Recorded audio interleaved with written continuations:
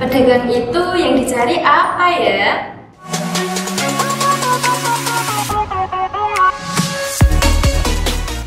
Assalamualaikum anak-anak solih solihah kelas 7 Semoga anak-anak solih solihah kelas 7 yang ada di rumah Dalam keadaan sehat dan terus semangat. Alhamdulillah hari ini kita bertemu lagi dengan pembelajaran daring matematika materi aritmatika sosial.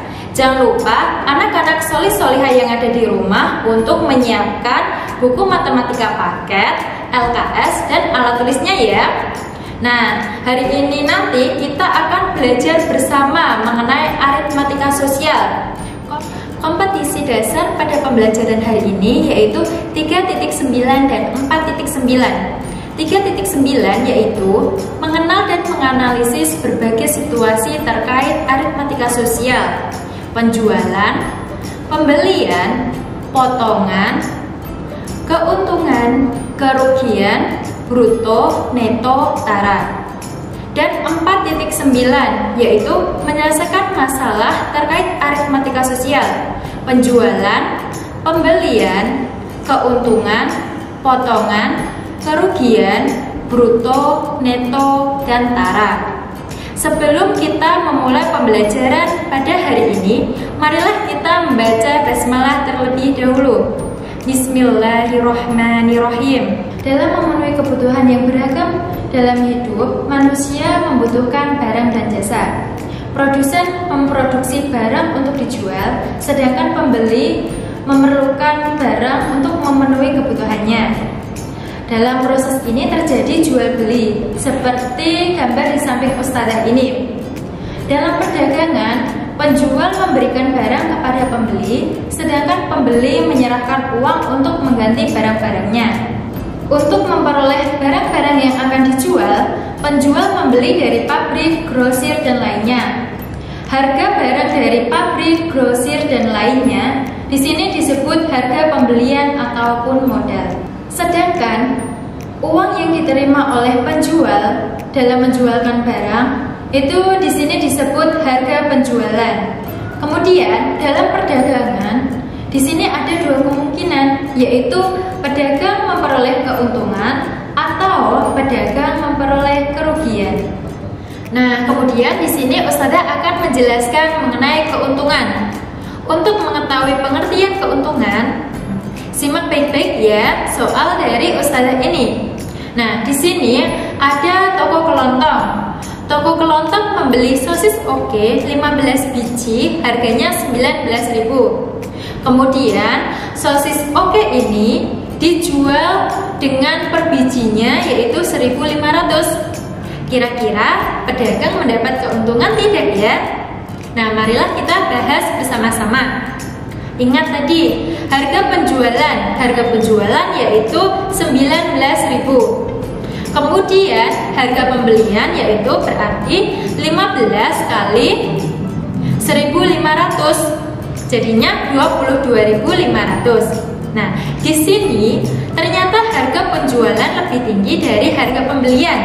Selisih harga penjualan dengan harga pembelian yaitu 22.500 dikurangi 19.000 yaitu 3.500. Nah, dalam hal ini toko kelontong mendapat keuntungan yaitu sebesar 3.500.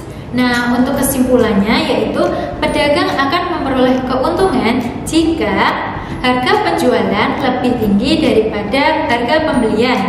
Nah, di sini berarti ingat tadi ya, keuntungan itu yaitu harga penjualan lebih tinggi daripada harga pembelian.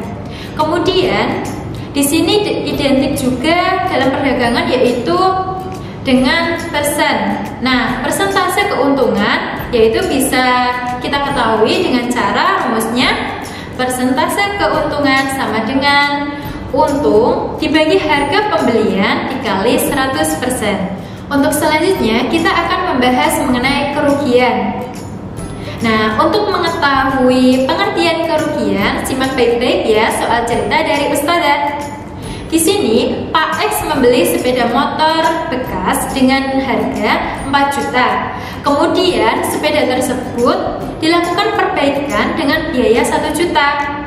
Nah, selanjutnya sepeda bekas tersebut dijual kembali dengan harga 4.500. Nah, kalau harga dari perbaikan dan penjualan yaitu 4 juta ditambah 1 juta di termasuk modal sehingga yaitu modalnya menjadi 5 juta kemudian dijual dengan harga 4 juta 500 kira-kira rugi atau tidak ya? Nah simak baik-baik ya. Nah modalnya tadi berapa? 5 juta.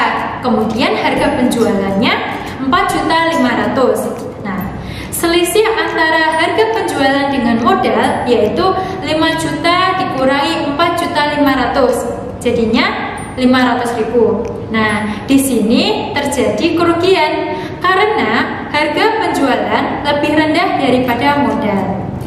Nah, bagaimana anak-anak soli-solia yang di rumah? Sudah paham belum mengenai kerugian?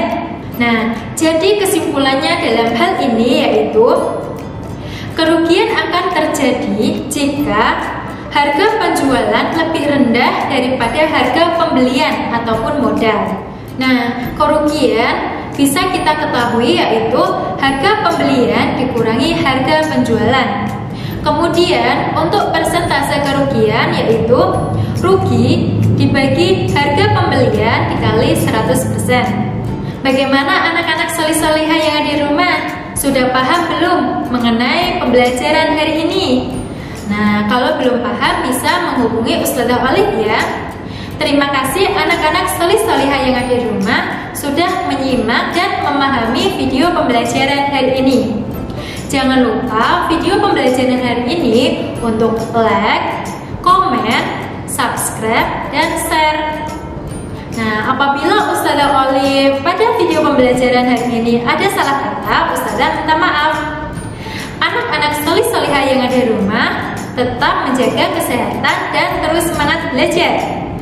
Sebelum Ustazah akhiri, marilah kita baca hamdalah bersama-sama. Alhamdulillahirrabbilalamin. Ustazah akhiri. Wassalamualaikum warahmatullahi wabarakatuh.